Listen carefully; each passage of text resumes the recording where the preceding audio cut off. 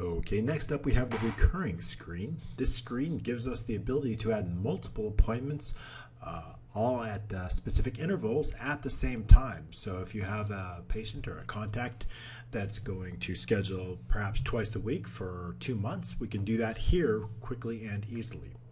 Uh, why don't we go ahead and go through it? Uh, basically, we would select uh, any specific uh, recurring appointment below. Uh, and we have a new one. If we want to enter a new one, we just enter it here, and then we go ahead and put in the starting date. And then uh, we put in, uh, let's go ahead and schedule a time for that. And then we'll uh, select a assigned staff for that day, as well as an appointment type. We have just one so far, but we'll be creating more. A number of appointments, we'll go ahead and put 10. And let's say we want to every week on Monday, Wednesday, and Friday.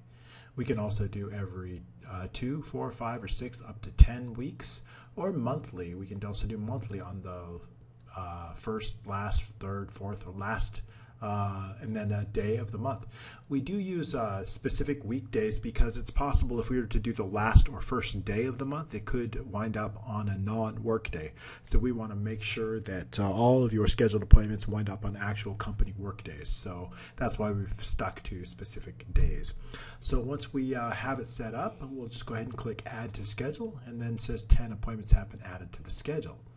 And so here we have uh, the details of that appointment.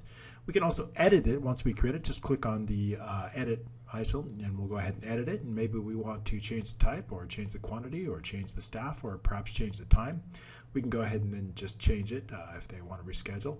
And what that's going to do is it's going to change all of the appointments after the current date, but not in the past. We don't want to change any appointments in the past because we assume that they've already taken place. So it'll it'll make changes to any future appointments, and then we'll just click update, and then that'll update the appointment.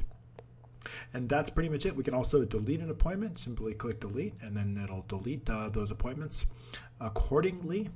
And uh, that's pretty much it. So that's it for the recurring. It's a great way to schedule a lot of appointments. We can do up to 365 appointments uh, all at the same time with this screen. So thank you.